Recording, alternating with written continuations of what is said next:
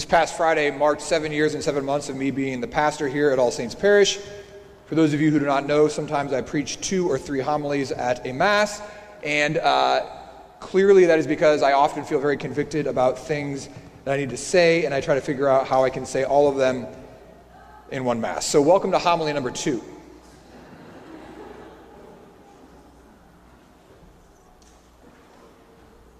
Our gospel passage today from the Gospel of Mark should be very familiar to you, for the, particularly if you've ever been to a baptism outside of the context of Mass. Priests often choose this gospel passage from the Gospel of Mark. People are bringing their children to Jesus, and some of the disciples start pushing the children away. They're loud, they're crying, they're fidgeting. They might smell. They're keeping us from being able to be attentive. So we push the children away. And Jesus, of course, wants nothing with this. And he says, Let the children come to me. Don't prevent them. Let the children come to me. The kingdom of God belongs to such as these. I have in my mind from traveling across the country and even, thanks be to God, across the globe of stained glass windows of this beautiful image of Jesus seated, children being brought to him, one on his lap, one on his shoulder, paintings, sketches, drawings. Let the children come to me.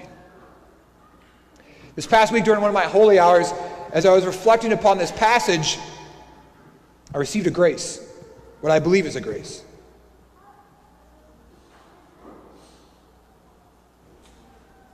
We believe that Satan is the great deceiver.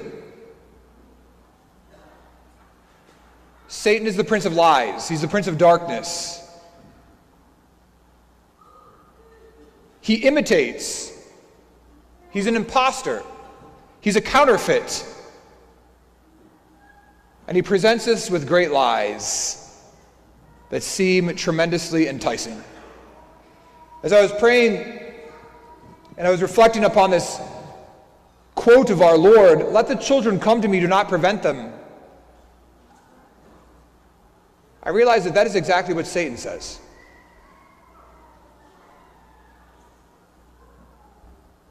Let the children come to me. Let the children come to me. Don't prevent them. Don't prevent them. Just let them come. The kingdom of heaven does not belong to them, but the kingdom of darkness.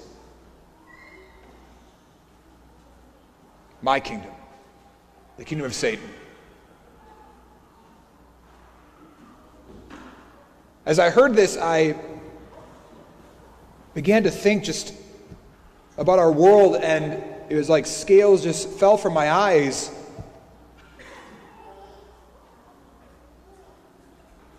It all became very real. I'll give you some vivid examples. When I was a young child, there were four television stations.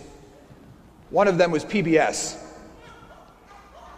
I used to like to watch Sesame Street and Mr. Rogers' Neighborhood.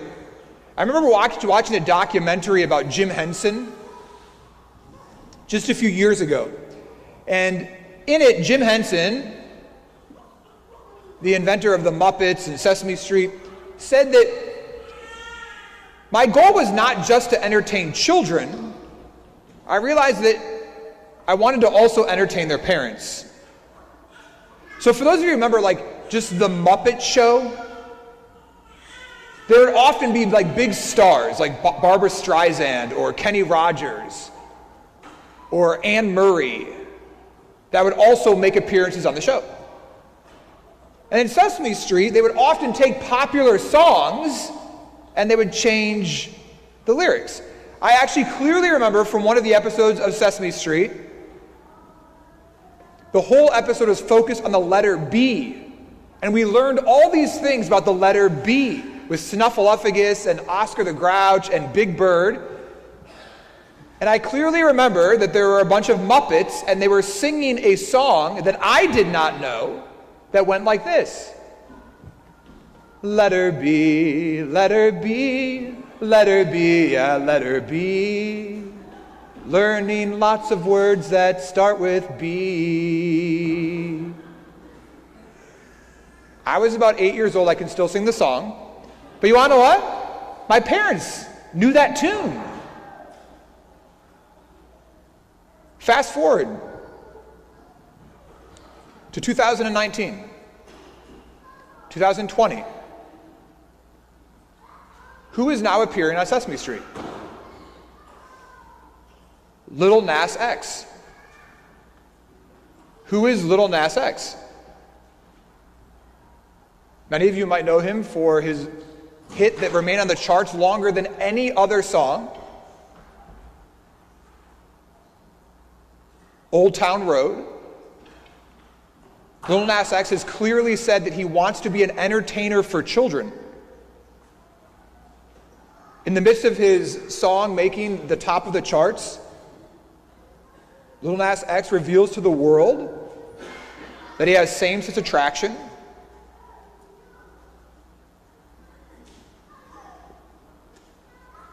He then comes out with his next song, where in that song, in the music video that he created, he literally enters into sexual relations with Satan in the video. He then is invited to be on Sesame Street with Elmo. The week after he releases the video, he also then releases a new shoe, a tennis shoe for children, that has Satan on it, a pentagram, and literally contains real human blood. I'm not making any of this up. This is now Sesame Street. And what does Sesame Street say? Let the children come to me. Let the children come to me.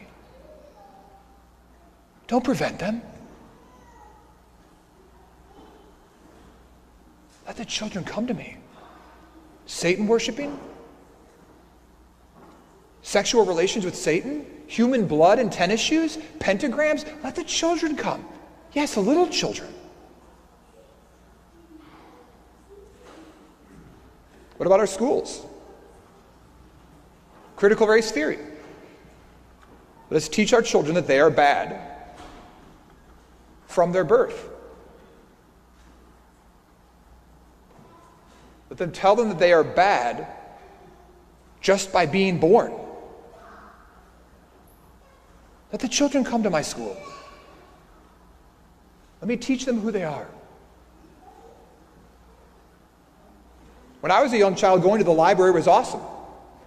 When I was a young child, going to story time at the library was something that Terry Meyer like literally thought was fantastic. We would go to story time at the library, and my mom would actually be able to like go and read adult books. Now, you can go to the library, you can drop your child off, and a man dressed like a woman will read stories to your children about how they have no gender. How they were born is a lie. Let them come to me. Let the children come to me. Do not prevent them. Don't prevent your children from coming, please. What about the internet? I don't know if you've ever tried to take your phone away from like a teenager. Good luck. Try taking a phone away from like a child who's six or seven who's been like using that phone. They will resist you. They've already become addicted to the images. They've already become addicted to the glow. They've already become addicted to the sensation of instant gratification. Let the children come to me. Let them come. Addiction, gaming, pornography. But what else? A self image, body image, anorexia, bulimia, bullying, social media pressure. Let them come to me. 70% of parents admit to the fact that there are no blockers and they do not have regulations on how their children engage on the internet. Do not hinder them. Do not prevent them. Let them come to me. This past week, as I was coming home from a cross country meet, We were getting off the bus, and I overheard a conversation. One of my athletes, who is also a parishioner, was being made fun of. His parents have not given him a phone, even though he is a high schooler, and he does not have access to the internet at his house without his parents being with him. And I heard the mockery. Man, we can never get a hold of you. We can never contact you. Man, we can't Snapchat with you. You're not in our group text. Your parents are controlling. So I stepped in, shut the boys down, and one of them continued. Man, I remember when the first thing I, when I got, first got my phone, the first thing I did was typed in top 10 things kids shouldn't look at on their phone. This is a direct quote. I can still tell you all 10. Now, why can he do that? Most likely because there are pictures and videos which now are ingrained to his mind for the rest of his life. I tried to time it so that I would be leaving the school at the same time as the young man from our parish. His dad was outside with some of his siblings waiting to pick him up. And I intentionally walked over to his dad's car and I said, Hey, I just want to let you know like what just happened. And I said, I want your son to hear this and I want your son to hear me say to you that you are a really good dad. You do what you do because you love your son.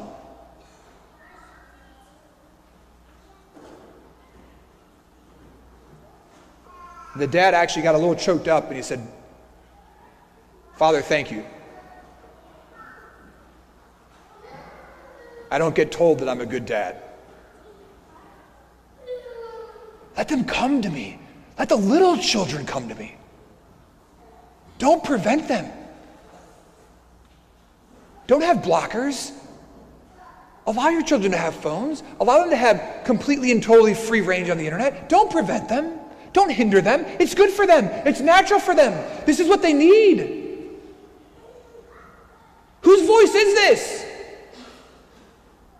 This is not the voice of our Lord.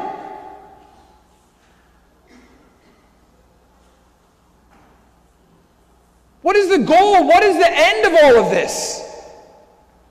I was speaking to Father Hollowell earlier this week, and many of you know that Father Hollowell and I, many of us priests, I try to talk to three priests every single day, and I was talking to him, and I was just like, man, I think this is where I'm going to go with my homily. And he was like, that is so crazy. He said, I was just thinking earlier this week, I used to ask myself, like, what is behind all of this? And he said, I used to think it was money. I really used to think that, like, behind the internet and behind the pornography, that, that, that it was money. He said, I, I'm, I'm thoroughly convinced that it's no longer money.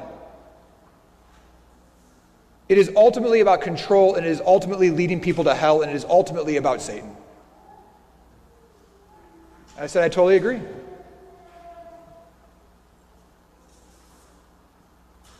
So, I mean, like, literally, if we, if we, if we pause and we stop and we said, like, wh- where is all of this leading? Corruption, addiction, deception, hurt, abuse, loneliness, isolation. What is that? That is hell. Let the children come to me. I want to teach your children. So, what's the good news in today's gospel? That Jesus is actually the one who has originally said it. We've just fallen for the impostor. We've fallen for the counterfeit. We've fallen for the lie. But Jesus is the one who said, No, let the children come to me. Don't prevent your children from coming to me. And what does Jesus want for them? He wants life, He wants peace, He wants family, He wants joy, He wants laughter, He wants freedom, He wants confidence, He wants strength. That's what He wants for our life. That's what He wants for all of us who are His baptized sons and daughters. That's what He wants for us. And yet, so often as a priest, I'll be like, hey, you want to what? We're having a marriage encounter. We're having a marriage retreat. Hey, we're having a youth group. Hey, we're having this opportunity. Father, we're just too busy. Like, we're, we're just too busy. Like, it's like so much happening in our lives.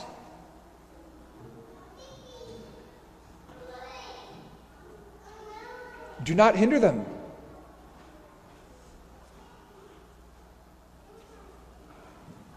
Many of us who are in the battle, we constantly look at our world and we, we moan and groan when we see what's happening to our culture and to our society.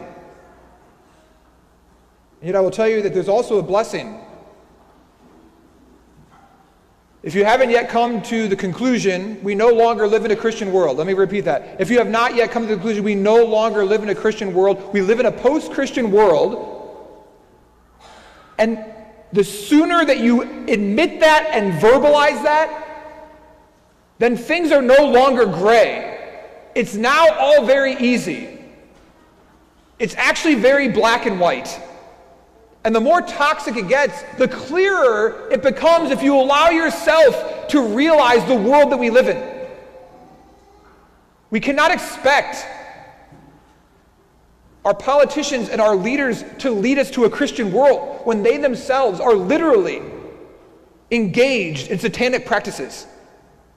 When they are promoting entertainment and an industry that is satanic. This is the world we live in. Let them come to me. Let your children come to me.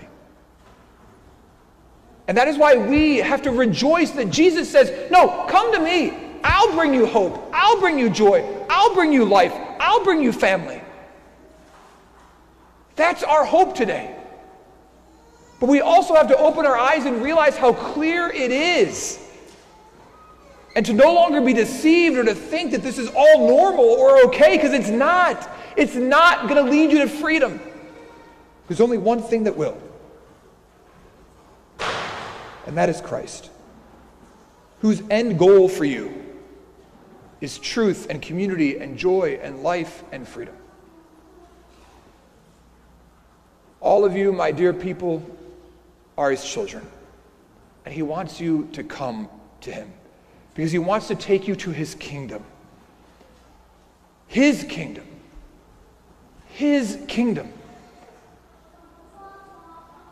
And that's what we head to right now. At every Mass, we participate in heaven here on earth, and we are brought to the glories of heaven, where there is communion and peace and joy and freedom. As we enter into the holy sacrifice today, may we reject what is clearly not of God. And may nothing prevent us from doing so. And may we truly become his children here on earth and one day in heaven. Amen.